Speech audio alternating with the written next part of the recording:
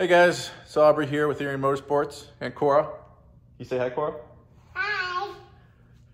And uh, I got a few different projects going on right now, so I'll show you them real quick. And then there's, uh, I'm gonna do a video.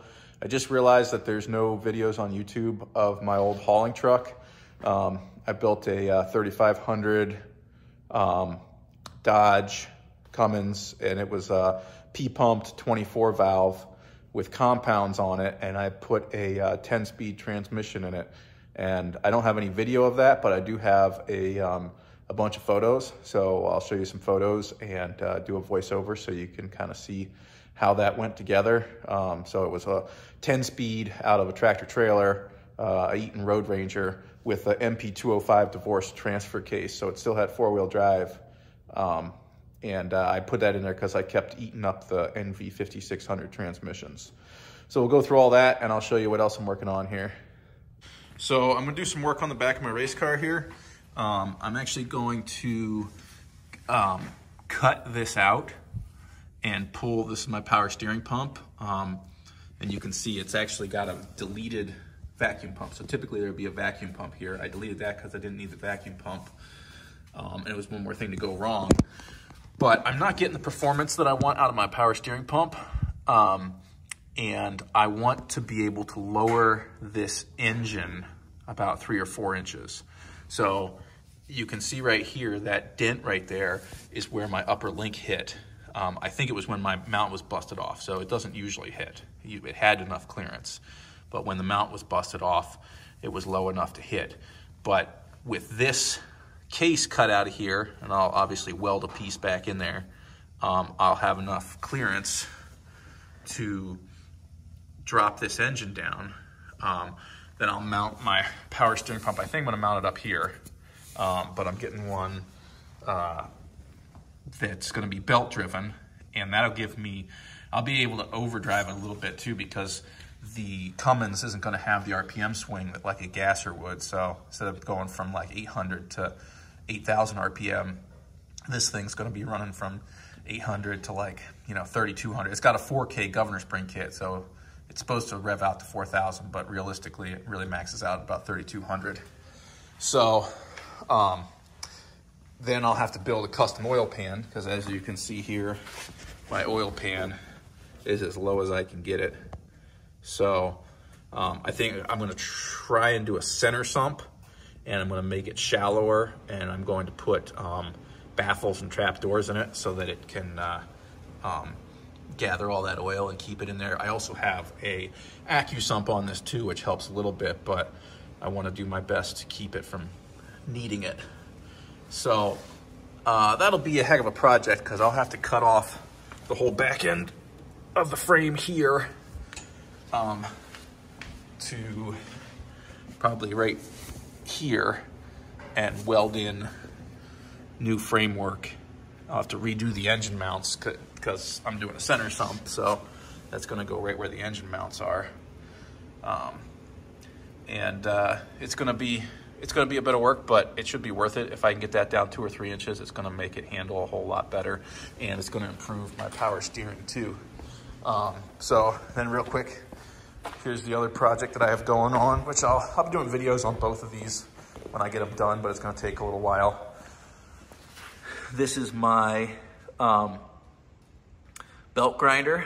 So this is, uh, this is gonna be um, as simple as I can as I can make it. So it's not going to be one where you can swap out um, wheels or you know do any of that kind of stuff but it's gonna, this platen is gonna go right here between those two and my um, tensioner wheel is gonna go right about in there. I'm gonna have to make a me mechanism for it so I can tension it and adjust the tracking. Um, and then this whole, this whole unit is gonna rotate uh, 180 degrees. So I can run it vertical and I'll have a, I'll have a horizontal table here. So I can run it vertical, I can roll it flat and use that flat platen to do nice straight edges. And then I can roll it up and I can use the other wheel um, And so I wanted to have something that I would have to adjust as little as possible. I don't want to have to swap out wheels or, you know, do any of that kind of stuff. It's going to have a, it's got a three phase motor with a variable frequency drive, so it'll go both directions. Um, so should be pretty slick. Anyways, um, I'll show you the, uh, the RoadRanger build. All right, guys, so this is Frank. Um, here I am just hauling home uh, U-Haul um, for the box I wanted to be able to put on my trailer when I wanted to haul stuff covered or, you know, go camping and whatnot. Um, so this is the load that uh, blew up my first transmission. Um, the transmissions that was in this truck, it was a six-speed NV5600 transmission. The truck was P-pumped, uh, 24 valve with compound turbos, and I had propane injection on it. And then I had, um, after I did this build, I did a auto leveling air ride in it and uh, track bars. Um, so I got the Eaton RoadRanger transmission out of a tractor trailer, and then I had to figure out how to adapt it. I decided that I was going to adapt an NV 4500 um, bell housing to the transmission rather than using an SAE adapter. You can get SAE adapters that will adapt this transmission to um, the uh, um, Cummins, but the uh, the bell housings are bigger on those, and most of them have the starter on the right hand side, which interfered with my compound turbos. So I decided I was going to build my own adapter plate. Um, I was going to use the NV4500 um, bell housing and then I had to figure out how to hook up the hydraulic clutch. So I found a um, concentric throwout bearing um, that was used in some Mercedes and some Freightliners, um, and they were really expensive. I think they were like they wanted like seven hundred bucks for them, uh, but there was a, a surplus company down in Philadelphia somewhere that had these things for like I think they were under hundred bucks a piece. Um, they were super cheap. So I bought one of those and I got a inch and three quarters input shaft for the transmission. So I swapped out the input shaft in the transmission and um, and made this adapter to fit that throwout bearing. Here I am testing it on just a random clutch I had laying around, making sure that I had enough flow. I ended up needing to get a Wilwood um, brake cylinder, like the largest diameter one I could find to make it work. And I had to cut these out a little bit to make it so that the shaft would fit through there. Um, this is the adapter for the Wilwood um, master cylinder. And uh, luckily, South Bend was the one that made my clutch. They were willing to send me new clutch discs so I could use my existing pressure plate. There's the Wilwood master cylinder installed. And here I made an arch to go inside the truck and put a winch on it so I could lift it up into place. Um, I had to make a mount for this transmission that went over top of it because um, the if I went underneath it, it was going to interfere with the drive shaft coming from the divorced transfer case. So, got a little rubber isolation there. Built this thing up really nice and rugged. It's all, uh, I think it was one inch steel. Um, there it is, held up in place, and um, really easy actually to install with that winch. You know, you could just winch it right up in there. It was held in place.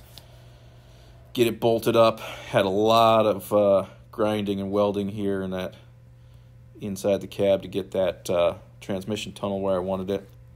And then here I'm tearing the NV, uh, I'm sorry, the NP205 transfer case apart.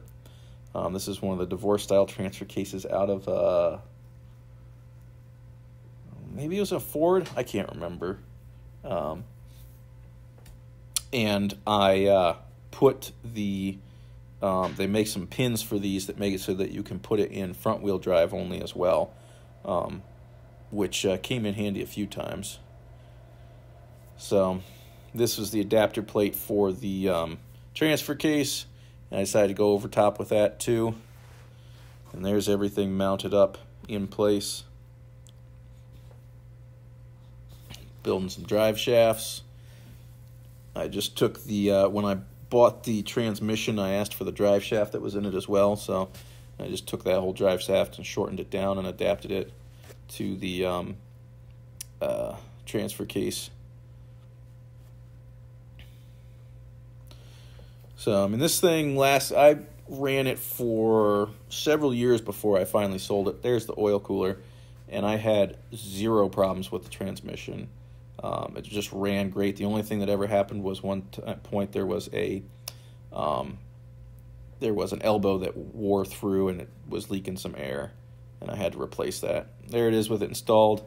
I wasn't uh, using this truck for chauffeur and people around, so it's a little bit uh, rough and dirty, but um, it got the job done. I put a air ride seat out of that same tractor trailer in it while I was at it, and um, it was uh, it was a heck of a truck. It's nothing like um, drifting a uh, 10 speed around some country roads. So this is the air system. Had to build an air system for it, obviously. This is a Desiccant air dryer because I didn't want to put a full-on tractor trailer air dryer in there. And there's my tank. Um, and uh, luckily I already had a nice box on the truck that this fit right into.